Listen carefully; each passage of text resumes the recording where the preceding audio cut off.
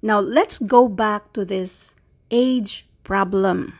Na-post na natin ito at yung link ay ilalagay ko sa comment section kung nandito kayo sa FB page at sa description ng video ito kung nandito naman kayo sa ating YouTube channel na Solving Math with Leonalyn.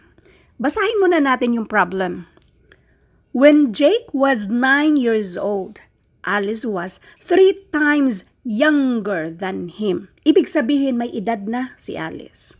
Now, Jake is 30 years old. Ang tanong, how old is Alice?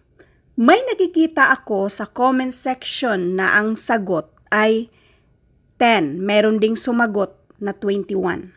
Sa previous na video natin, meron na tayong binigay na dalawang solutions.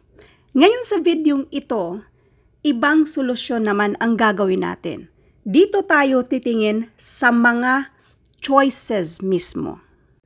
Now, take note na si Jake was 9 years old. Doon muna tayo sa edad ni Jake. Now, yung edad niya ay 30. Ilang taon ang lumipas from 9 years old si Jake papuntang naging 30 years old siya. Ilang taon ang lumipas. So, 30 minus 9, that is 21. Ibig sabihin, 21 years. Sa 9 years old si Jake, after 21 years, naging 30 years old si Jake. Ngayon yung tanong, how old is Alice? Si Alice mismo, after 21 years, so lumipas yung 21 years, sa 9 years old si Jake, may edad na si Alice.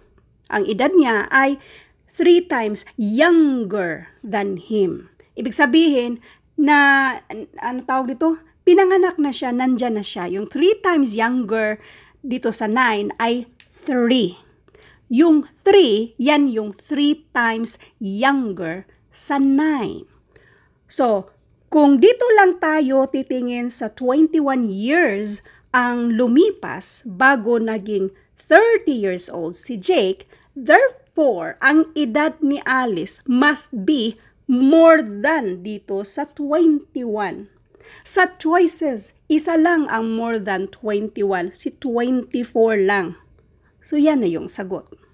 So ngayon, ito yung gawin nating solution number 1 na doon tayo titingin sa mga choices. Ganun lang siya kadali. 21 years ang lumipas. So dapat ang edad ni Alice more than 21 years. So anyway, doon muna tayo sa solution number 2 which is pinakita na natin sa unang uh, video natin na kung si Jake ay 9 tapos naging 30 siya tapos itong si Alice ay 3 times younger than him. Ibig sabihin 9 divided by 3 and this is 3. Itong 3 na ito, yan yung edad ni Alice before nung 9 si Jake ang age gap dito ay 6. Dapat fix yan kasi ang age gap always yan siyang constant. So, 30 minus 6 and this is 24. Kaya ang edad ni Alice ay 24. Ngayon, ito pa rin ang gamitin natin para sa ating solution number 3 na pinakita na natin sa unang video natin.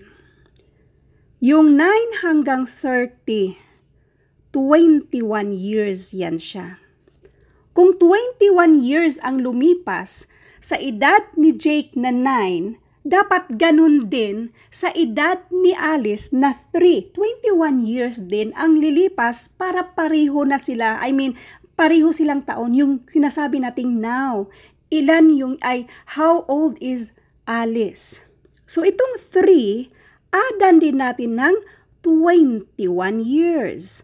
So 21 years plus 3 and that is 24.